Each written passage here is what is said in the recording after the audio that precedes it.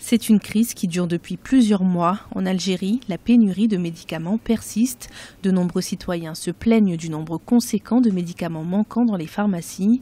Selon les pharmaciens, sur une liste de 50 médicaments, seulement 20 peuvent être trouvés dans le pays. Euh, la production algérienne de, médicaments n'arrive pas à, couvrir tous les types de médicaments, tous les types de, euh, de produits nécessaires pour le traitement des maladies, notamment les maladies lourdes.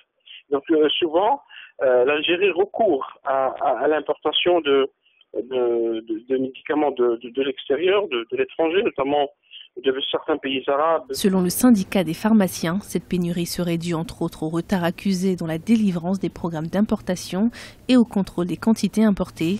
Alors que les producteurs accusent les autorités d'être à l'origine de la crise, le ministère de la Santé s'est exprimé dans un communiqué. Le ministre Mokhtar Asbelawi a menacé de sévir en retirant l'agrément aux opérateurs qui provoquent ces pénuries. En Algérie, il y a une certaine euh, industrie pharmaceutique et le gouvernement tend parfois à évoquer la nécessité d'encourager la production nationale, notamment à travers euh, les génériques. Face à cette pénurie, certains patients se tournent vers des médicaments venus de l'étranger, dont les prix sont plus élevés et donc inaccessibles à une partie de la population. D'autres font aussi appel à la médecine artisanale. Il sera en effet 45% d'Algériens à avoir recours aux herboristes.